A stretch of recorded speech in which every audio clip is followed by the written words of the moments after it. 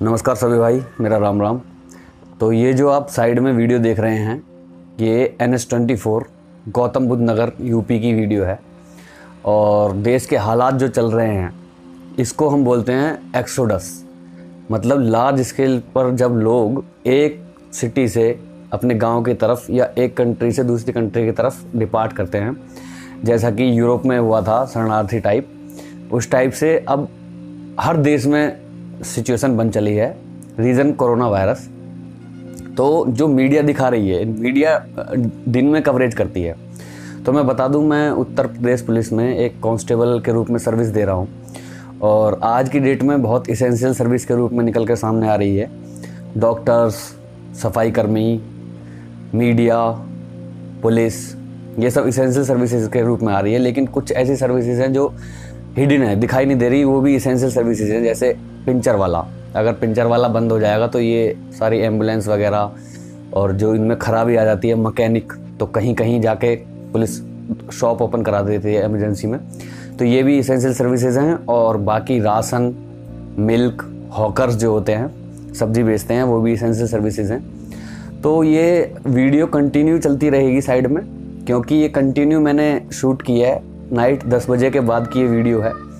और as a policeman हमारी duty है कि जो मोदी जी ने कहा है इमरजेंसी में, कि कोई भी बंदा अपने घर से बाहर ना निकले, क्योंकि आपके घर से निकला एक कदम।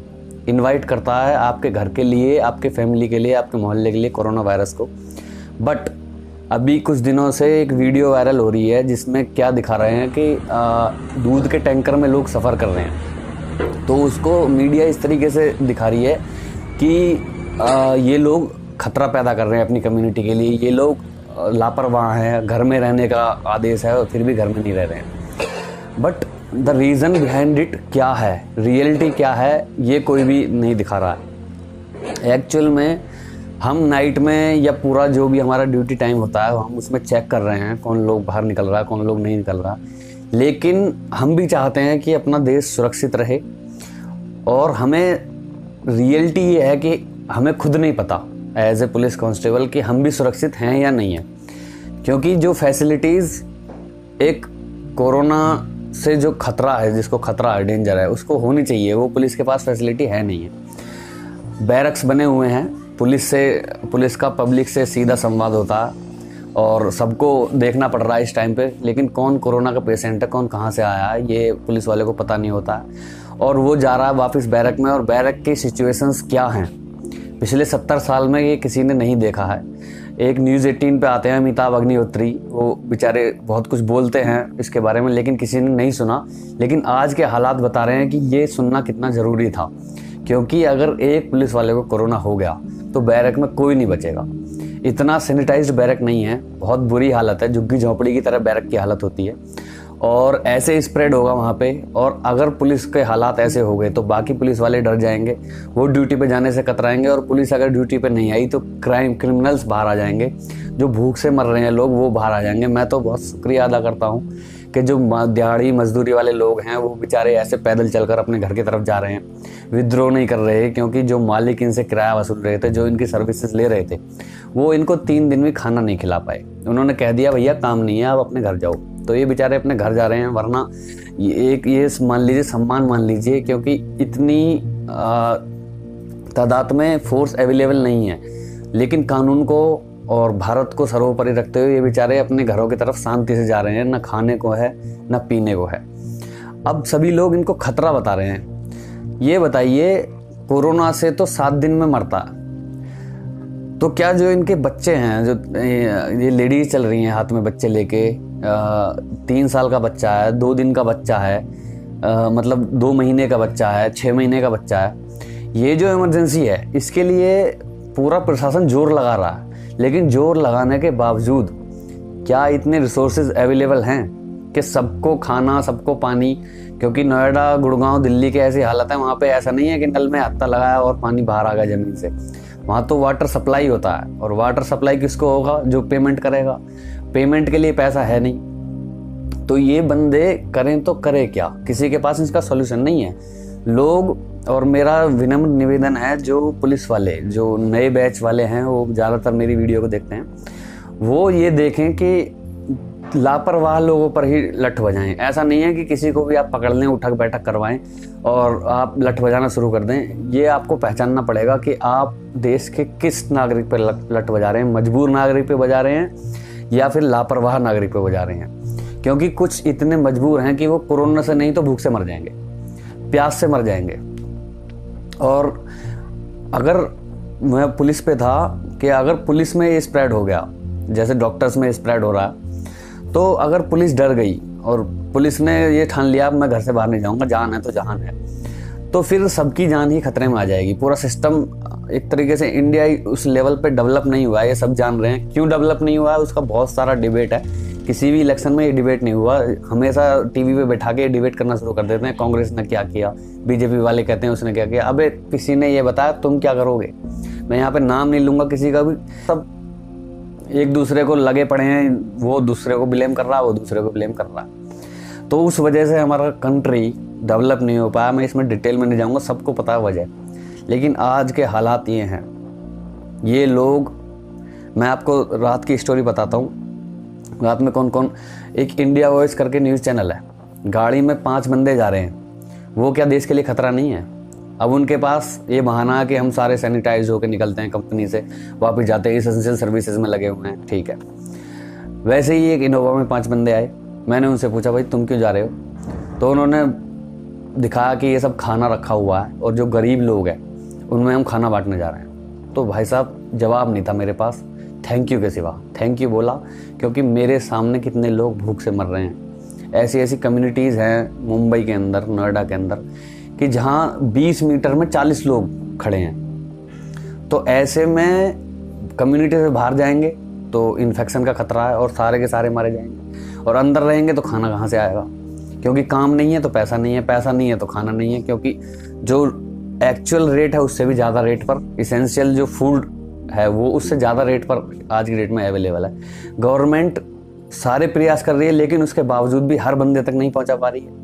हर एक की सिचुएशन लोग, गरीब लोग बेचारे डरे हुए हैं, वो कह नहीं पा रहे हैं। तो ये हालात हैं, लोग रात को डिपार्चर करते हैं, बहुत लार्ज स्केल पर एक्सोडस हो रहा है। और हम उनको जाने से नहीं रोक पा रहे, क्योंकि दोनों ही केस में हमें उनको बचाना है, कोरोना से भी बचाना है और भूख से भी बचाना है। ये प्रशासन भी जानता है। हम पूरी कोशिश कर रहे हैं। तो ये देखिए कि मजबूर ना पिट जाए। जो बंदा अपने आप को बचा रहा है, भूख से बचा रहा है, कोरोना से बचा रहा है, वो ना पिट जाए। और जो लापरवाह है, जिसके पास सब कुछ होते हुए भी ये देखने निकल रहा है कि बाहर सड़कों पर क्या माहौल है, कौन कैसे जा रहा है, और इस तरीके से जो निकल रहा है, वो सावधान रहे। उसके लिए प्रशासन बहुत सख्त है। आप पूरे देश के लिए खतरा बने हुए हैं इस टाइम पे। बिना वजह घर से बाहर ना निकलिए प्लीज़ कोई हमसे कहे कि घर पे रहे तो हम तो घर से बाहर ना निकलें। लेकिन मजबूरन हमें जाना पड़ता है सब लोगों से बात करनी पड़ती है, सबको टोकना पड़ता। तो सबसे ज़्यादा खतरा हमें अपने अंदर है कि हम अपनी फैमिली में ये वायरस लेके ना आ जाएँ। उसके बावजूद भी जा रहे हैं। देश के लिए है, मर जाएँगे कल को कोई दिक्कत नहीं है। लेकिन आज करना है, ऐसा नहीं है कि हम एबसेंट हो जाएँ जॉब से। करना है देश के लिए मरना है, इससे अच्छा मौका भी नहीं है मरने का। तो आप लोगों से निवेदन है, प्रशासन से निवेदन है, क्योंकि मैं उस पोजीशन पे नहीं हूँ कि मैं आदेश पारित कर सकूँ। कि कोरोना से सबक लेना गवर्नमेंट से निवेदन है, कोरोना से सबक लेना और अपने देश को किस हाइट तक ले जाना है और थोड़ा एक बैलेंस मेंटेन करके रखना, एक ऐसी आगे जाके मैनेजमेंट बनाना कि आगे जाके ऐसी भुखमरी पैदा ना हो किसी ऐसी डिसीज़ की वजह से।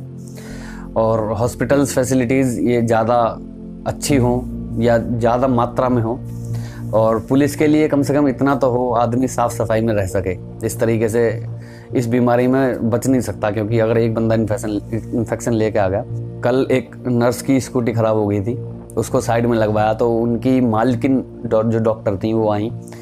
उन्होंने आके कहा कि एक गरीब था, उसको पाँच सौ रुपये उन्होंने दे दिए। और वो उससे इंक्वायरी कर रही थी कि जब लोगों का निकलना अलाउड नहीं है तो तुम अपने घर में क्यों क्यों नहीं जा रहे हो? तो उसने जवाब दिया, मैडम, मेरा तो घर ही नहीं है। मेरा कोई ठिकाना ही नहीं है। तो मैडम ने उसको पाँच सौ रुपये दी।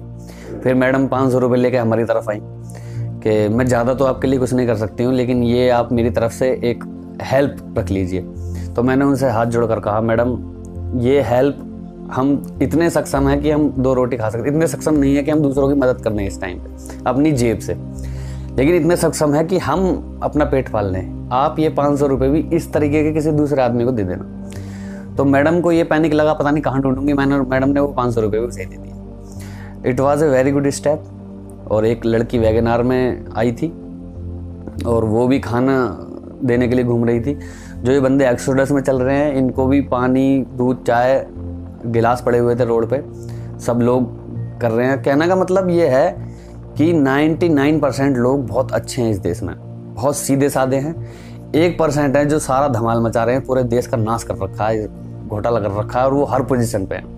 वो लेके चौकीदार से, सिपाही से, दरोगा से आईपीएस से एसडीएम से डीएम से पीएम से सीएम से, हर पोजीशन पे एक परसेंट लोग हैं जो बहुत ही इस देश का नाश मचा रखा है। नाइन्टी नाइन परसेंट लोग आज भी इस देश में मानवता के आधार पर जी रहे हैं और कर्फ्यू का बहुत अच्छी तरीके से पालन कर रहे हैं। वो एक परसेंट प्लीज़ रिक्वेस्ट है। इस महामारी में अगर कुछ मदद नहीं कर सकते तो प्लीज़ शांति से बैठ जाइए। और मदद कर सकते हैं तो आपका बहुत बहुत धन्यवाद।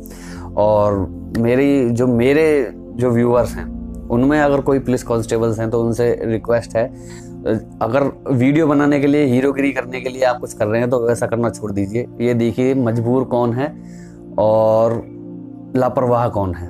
आपका डंडा मजबूर के ऊपर ना चल जाए, क्योंकि तीन तीन सौ, चार चार सौ, पाँच पाँच सौ किलोमीटर पैदल रात को चल के लोग अपने घर पहुँच रहे हैं। और हमारे पास इतनी सुविधा रियल में इतनी औकात नहीं है हमारी, कि जो बाहर से बंदा चल के आ रहा है उसका मेडिकल चेकअप करके, उसको आइसोलेट करके सब बंदों को उसके बाद उसके गाँव में भेजें। तो वो खतरा तो है, लेकिन वो कोरोना से नहीं तो वैसे मर जाता। ये इतनी शहरों की हमारी औकात नहीं है कि इतनी लार्ज स्केल जनता को तीन दिन में वो पाल पाए।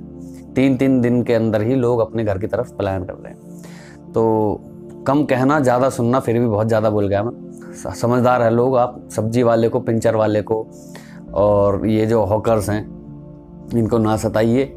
और रात में जो लोग पलायन कर रहे हैं सिटी से उसकी तरफ़, उनको ना सताइए क्योंकि उनके पास संसाधन नहीं है। और मैंने देख रहा हूँ कि चप्पे चप्पे पर पुलिस है, लेकिन कोई भी उनको टोक नहीं रहा। तो बहुत बहुत धन्यवाद इंसानियत के लिए। और बस यही मैसेज था कि जो मीडिया किसी भी चीज़ को स्टोरी के रूप में दिखा दे मीडिया से निवेदन है कि हालात को समझिए, अपनी टीआरपी बाद में बना लेना। सही डेटा पर फोकस करिए और सही सिचुएशन पर फोकस करिए। इससे कोरोना से सबक ले देश। और आगे डेवलपमेंट की तरफ़ ध्यान ले रैदर देन ये हिंदू है, ये मुसलमान है, और हिंदू नहीं, मुसलमान नहीं है तो ये बिहारी है, ये बंगाली है, ये महाराष्ट्री है, ये ये सब छोड़ के अपने देश को आगे ले जाने की तरफ़ ध्यान दें। बस अपना और अपनी फैमिली का इस समय अगर आप घर से बाहर निकल कर ना निकल कर जो सेवा कर सकते हैं, वो पूरी देश की सेवा कर सकते हैं आप। बस इसी के साथ समाप्त करना चाहूँगा, और ये वीडियो मैं कंटिन्यू अगर चलाता रहा था मैं एक घंटे का सफ़र तय करता हूँ डेली। एक घंटे ये बंदे की चैन टूटेगी नहीं। पूरे रोड पे बेचारे पैदल, फुल फैमिली के साथ, बच्चा यहाँ पे रहता, लेडीज़ के। मन करता कि गाड़ी बुक करके लगा दूँ, लेकिन डर रहता है कि गाड़ी सीज हो जाएगी। वो सब चीज़ें, ये बेचारे कहीं ना कहीं इतने मतलब पेट से परेशान है, इतनी भूख है पेट के अंदर कि आज ना कल सात दिन के अंदर, आठ दिन के अंदर अपने घर पहुँच ही जाएँगे। तो क्या करना है, क्या नहीं करना है, ये डिसीज़न लेना बहुत ही कॉम्प्लिकेटेड है बट प्लीज़ अगर मदद कर सकते हैं, करिए। मदद नहीं कर सकते तो अपने घर पे रहिए। और पुलिस को अगर कोई मदद करना चाहता है तो पुलिस को सिर्फ़ इतनी सी मदद है, पानी की बोतल लेके अगर पुलिस वाले को दे सकते हैं जो चौरा पे खड़ा है तो आप दे दीजिए। इससे ज़्यादा पुलिस को और आपकी कोई मदद नहीं चाहिए। और जो सक्षम लोग हैं, उनकी बात कर रहा हूँ, जो सक्षम नहीं है, वो अपने घर पर रहकर देशभक्ति कर सकते हैं। बहुत बहुत धन्यवाद। जय हिंद फ्रेंड्स